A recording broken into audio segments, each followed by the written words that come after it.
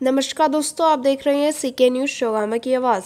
जनपद मुजफ्फरनगर में लोकवाणी सभागार में स्वामी विवेकानंद जी की जयंती के अवसर पर राष्ट्रीय युवा दिवस महोत्सव का आयोजन जिलाधिकारी अरविंद वल्लभा बंगारी की अध्यक्षता में किया गया। जिलाधिकारी द्वारा कार्यक्रम का शुभारंभ स्वामी विवेकानंद जी की प्रतिमा पर माल्यार्पण कर एवं माँ सरस्वती के सक्षम दीप प्रज्वलन कर किया गया। इस अवसर पर स्कूली छात्र छात्राओं द्वारा माँ शारदेय वंदन भी किया गया।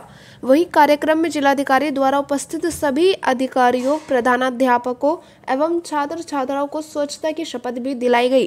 उन्होंने कहा कि हम प्रदेश में स्वच्छता को बनाए रखने के लिए अपने दैनिक जीवन में हर संभव बदलाव लाएँगे। हम यह भी वचन लेते हैं कि हम प्लास्टिक पॉलीथीन का उपयोग नहीं करेंगे और अपने परिवार, मित्रों और अन्य लोगों को भी पॉलीथीन का उपयोग न करने के लिए सतत रूप से प्रेरित करते रहेंगे।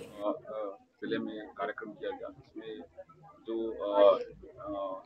अंडर ग्रेजुएशन में लास्ट फाइनल ईयर गया और पीजी में फाइनल ईयर गया जिसको मोबाइल नहीं मिला तो उनको स्मार्टफ़ोन स्मार्टफ़ोन बांटा गया। और ज़िले में अब तक छब्बीस हज़ार लोगों को बांटा गया और नेशनल यूथ डे पे जो आज का जो थीम था स्वच्छता के बारे में स्वच्छता का प्रण था, उसको दिलाया गया। इसके अतिरिक्त जो जो नेशनल डे पे जो थीम था थीम था इस साल का rise awake and realise your power new year सब उसके बारे में चर्चा की गई और जितने भी आज लोग आए थे, उनको जो यूथ का मैसेज क्या है? और आदरणीय स्वामी विवेकानंद जी का जो मैसेज क्या है, वो कैसे थे उस डिस्कशन हुआ। और उनको सभी को मेरी तरफ़ से भी जो हमने जो युद्ध के समय में और हमने जो क्या कार्रवाई किया और जो जो अच्छे काम किए समय डिस्कशन भी किया गया और बच्चों को और जो, जो यूथ्स को मोटिवेट किया गया।